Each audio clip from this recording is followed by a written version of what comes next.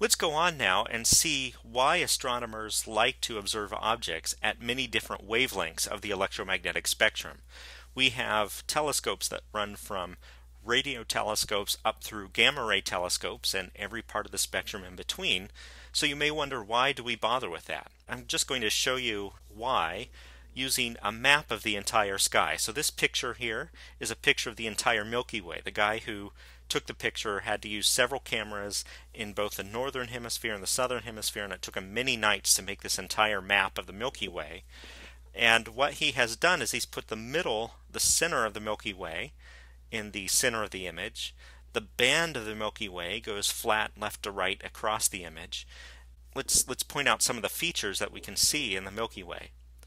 So because we've centered this picture on the Milky Way itself, the North Star is not at the top. The North Star is actually off to the upper left, and you can't see it on this image. Um, it is there, but you can't see it. The dark patchy regions you see across the Milky Way are dust. Now you probably have noticed that if you let dust build up on your windows, whether it's the windshield of your car or the windows of your house, you get too much dust and you can't see out very well. That's because dust is very good at absorbing optical light.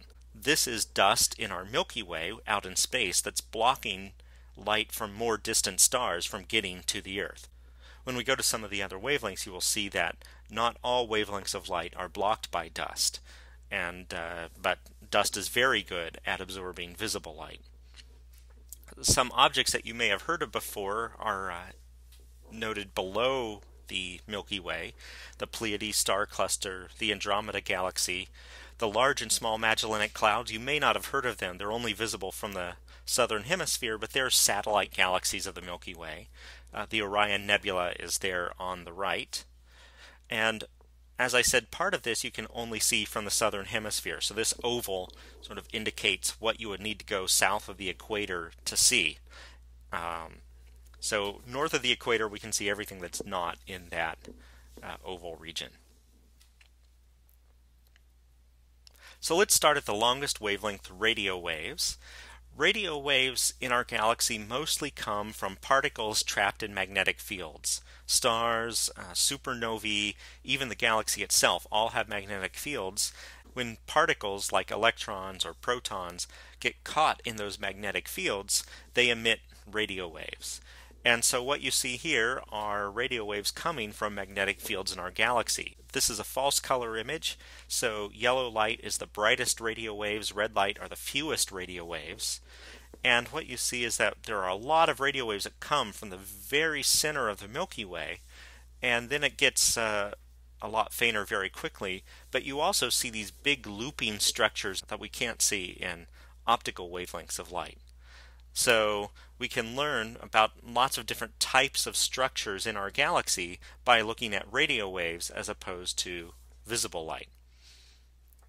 This map shows the Milky Way in a very particular wavelength of radio light, and that wavelength is 21 centimeters. At 21 centimeters, cold hydrogen gas is very good at emitting light. So when we look at the galaxy in this wavelength, we are seeing where there is hydrogen gas. And since hydrogen is what can make up new stars in our galaxy, uh, we can tell where there may be new stars forming. And again, you see in this particular picture, dark red means lots of radio waves. Uh, dark blue means very few radio waves. You see that most of the 21 centimeter radiation comes from the band of the Milky Way, and there are a few looping structures. You can see that the large and small Magellanic Clouds have a lot of hydrogen as well, and there's even a little faint tail that goes between them because they recently passed by each other and pulled some gas out. We'll learn about galaxy collisions uh, in the near future. So 21 centimeter light is a very special wavelength that allows us to learn a lot about where stars may form in galaxies.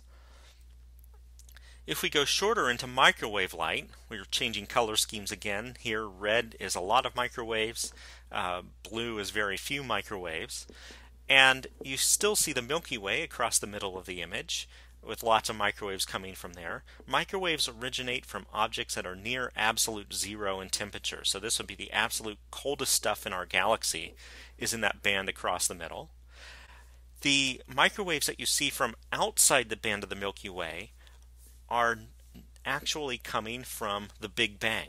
As we will learn at the end of the class, the uh, Big Bang created a lot of heat energy in the universe, and over time the universe has cooled off so that the universe itself is now just 3 degrees above absolute zero.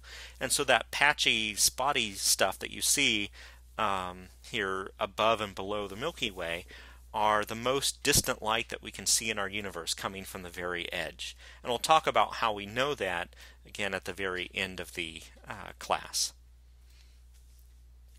We now move into far infrared light. So this is uh, that wavelength of um, sort of one millimeter to one tenth of a millimeter, where we need to go above Earth's atmosphere to see it because the Earth's atmosphere glows in this light.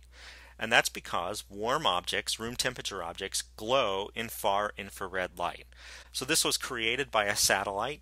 Here, white means lots of far infrared, uh, dark means little far infrared. Those little gashes that you see sort of just below the middle left and in the upper right, that's where the satellite didn't take any information. And the Milky Way itself is uh, very visible. You can see the large and small Magellanic clouds below and to the right of the Milky Way. You can see that where the Orion Nebula is, that there's a lot of uh, warm objects there. That's where new stars are being formed out of that very cold gas, and as it forms into stars, uh, it begins to warm up, and at some point it reaches this magic temperature. That sort of S shape that you see that goes from the lower left up through the center and to the upper right, that is our own solar system. We have dust in our solar system from comets and from the collisions of asteroids. They tend to orbit the sun in the same plane as the planets, and because of the weird way we've mapped out the Milky Way here, uh, instead of being a flat band, it has this funny S shape. We now move on to near infrared light. Near infrared light is shorter wavelength than the far infrared we were just looking at, but it's longer wavelength than what our eyes can see. So this is wavelengths of around a thousand nanometers to um, to a tenth of a millimeter or so. Uh, and near infrared light comes from cool stars, objects of around 2,000 or 3,000 degrees. Near infrared light is also very good at going through dust. So you still see some dust in our Milky Way here, but you don't see nearly as much as in optical light uh, because the near infrared light can make it through. So often when we want to study what's going on in dusty galaxies, we use near infrared light because that light can reach us on the Earth. But when we're looking at near infrared light, we are looking at stars, just like we tend to in the optical. So again, moving shorter in wavelength, higher in energy. This is that same optical light picture we saw earlier. Uh, just again, reminding you what it looks like. Optical light tends to come from stars like the sun, uh, other stars because we see them, and also in occasions from energized gas like the Orion Nebula. We don't have any pictures of the Milky Way in ultraviolet light.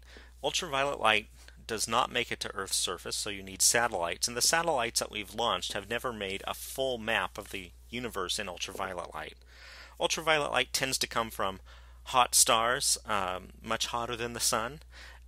So let's just skip over that and go to X rays. This is a picture of the Milky Way in X rays. In this image, blue and yellow mean lots of X rays, red mean fewer, and black means very few X rays.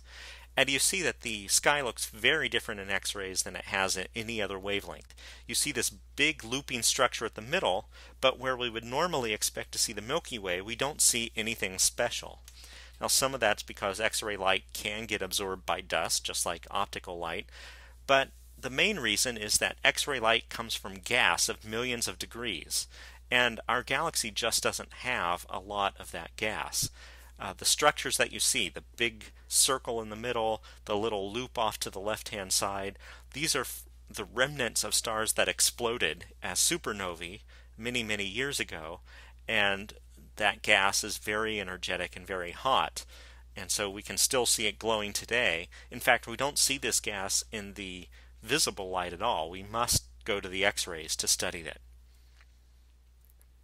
Finally, the shortest wavelength light is gamma ray radiation. And here we go back to a color scheme where yellow means very bright, blue means very little gamma rays. Um, gamma ray radiation comes from very energetic processes such as black holes or neutron stars or very violent collisions of gas. And so there are very few sources. Most of what you see in the Milky Way are neutron stars and black holes in the Milky Way.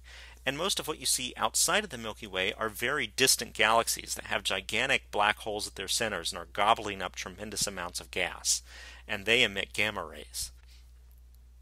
Hopefully you've seen why we look at the Milky Way in lots of different wavelengths of light because at different wavelengths you see different physical processes and we can study objects in the radio that we cannot study in visible light. We can study objects in gamma rays that we cannot study in radio or visible light. And so by picking the appropriate wavelength for the object we want to study, uh, we can focus in on those objects very easily.